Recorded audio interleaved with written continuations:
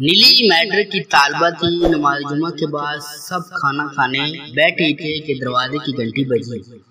ابو دروازہ کھولنے چلے گئے۔ جب وہ کمرے میں آئے تو ان کے ساتھ نیلی کی ہم اوور ایک چڑیا تھی۔ امی کے پوچھنے پر اس نے بتایا۔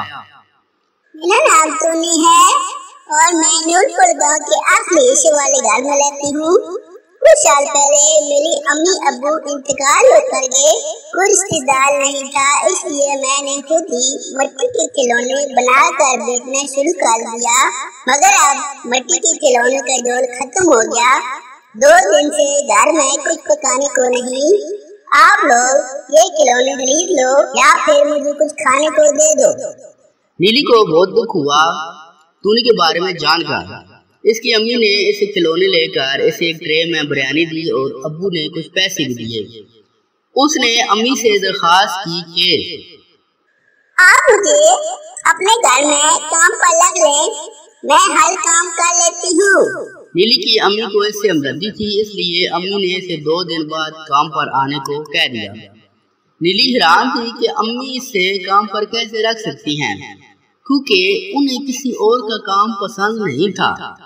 نیلی نے امی سے پوچھا تو انہوں نے کہا تونی دو دن بعد آئی تو امی نے کہا۔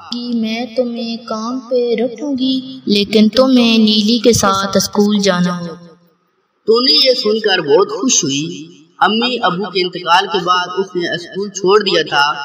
اور اب یہ سنہری موقع ہاتھ سے جانے نہیں دے سکتی تھی۔ اس لیے اس نے فوراً حامی بھر لی اور نیلی کی امی کا بہت شکریہ ادا کیا۔ اب وہ نیلی کی دوست بن گئی تھی اور اسی گھر میں رہنے لگی تھی۔ نیلی کے ساتھ پڑھائی کرتی اور نیلی کے ساتھ ہی گھر کا کام بھی کرتی۔ نیلی کی امی مہینے کے آخر میں اسے کچھ پیسے دینا چاہتی تھی، مگر اس نے لینے سے انکار کر دیا اور کہا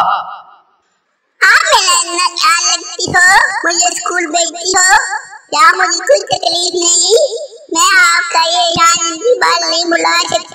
تو نے ہر وقت اللہ سے گھر والوں کے لیے دعا کرتی جن کے وسیلے سے اللہ نے اس کی زندگی کی مشکلات ختم کر دی